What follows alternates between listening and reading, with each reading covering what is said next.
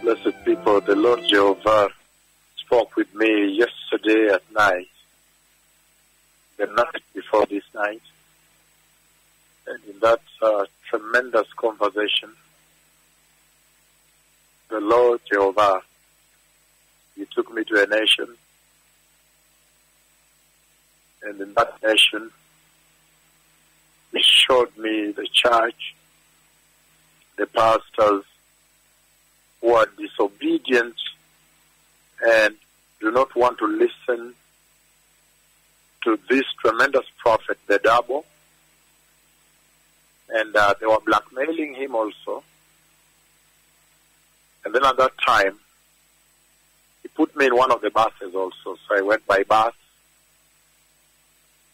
And then after that, I saw everything, the people talking. And then after that, the Lord lifted me up and took me up into heaven. The Lord Jehovah that you saw visit Kisumu just a few days ago in Kisumu, coming in the dreadful, most powerful and most revered and most feared and fearful cloud of God, coming in the cloud of His glory, the physical manifest presence of Jehovah, Yahweh Himself. And now you are mature enough to know that He does not come alone. Every time God the Father comes, He comes in a tremendous entourage of the Godhead, the triune God, the triunity, the Trinity, together with the hosts of heaven. Some go ahead of Him. He lifted me up yesterday at night after showing me that country. Then He took me up into heaven. Then I saw the hand of God Almighty, the hand of God the Father, holding the glorious cup, super glorious cup in the sky, a super glorious cup, and I don't know whether today I can describe that cup. That cup is a bit, is the size probably of your teacup, a little bit bigger though, but that size. And that's, the cup was full. It was full, and the Lord tilted the cup toward the nations of the earth. The cup was full of the wrath of God. Then he poured the wrath of God upon the nations of the earth that refused to listen to this prophet, the double, one in the spiritual body, eternal everlasting body, and the other in the physical realm. They refused to listen to this prophet, the mega prophet that can command heaven to open and bring down rain here right now. And heaven open and brings down rain here right now. The prophets that can summon God to come to them in the thick, dark cloud, specification at Kisumu. And God Almighty come the way He came in the wilderness. When these two prophets were navigating the Israelites out of slavery. So the nations that refused to listen to them disobeyed, and also I saw how they were blackmailing. They were talking blackmail. And then, again, they were talking blackmail. And then at that time, the Lord Jehovah, He lifted me up into the glorious kingdom of God where all of you would want to go. And at that place, then He showed me the cup full of the wrath of God, a glorious cup, and He poured the cup. He poured that cup about three to four times. He poured that cup about three to four times. I'm yet to know if the first one moved. Otherwise, there are four. Four times that he poured.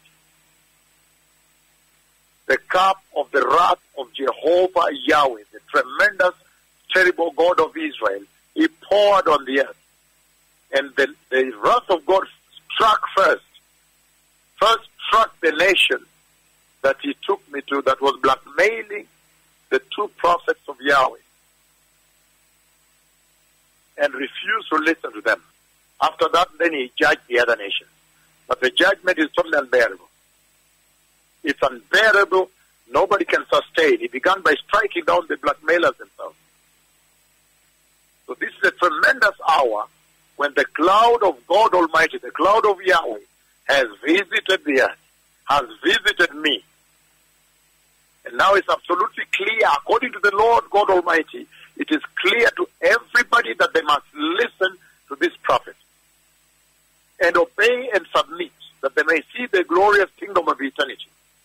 The sovereignty of God is now reigning. It is now at play. That now every nation must listen and submit, because according to the Lord, you have now seen who this prophet is.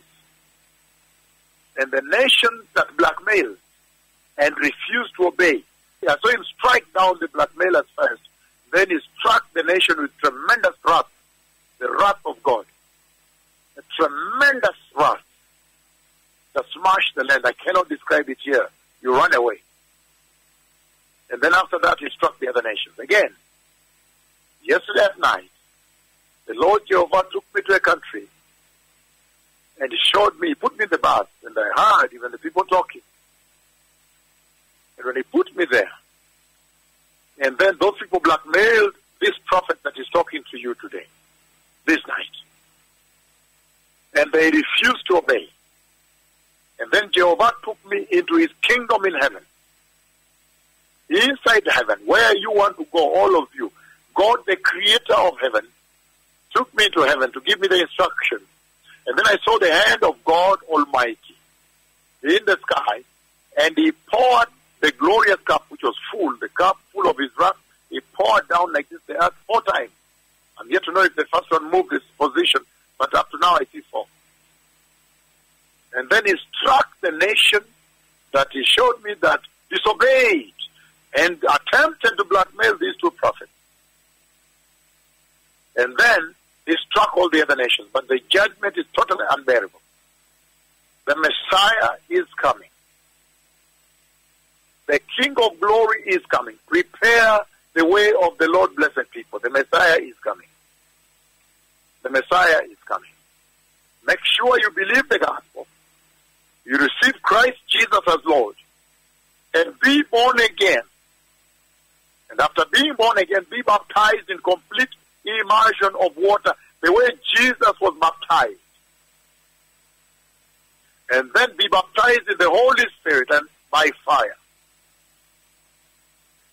And stop the discussions of pre-tribulation, mid-tribulation, post-tribulation, that human philosophy. Stay away from it. Simply prepare in holiness for the glorious coming of the Messiah. In righteousness as the garment for entry into heaven. I have already lowered the stairs of heaven. I have commanded heaven to lower its stairs, the glorious stairs. And heaven has already obeyed my words and lowered the glorious stairs of heaven, of eternity, of everlasting life up here.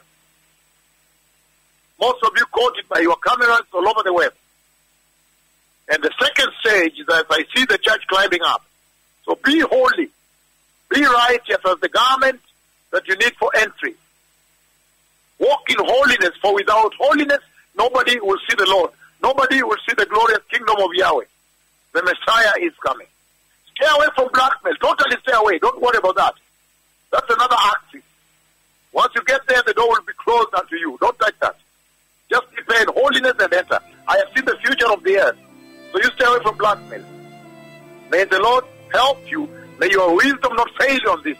The Messiah is coming. Darabah.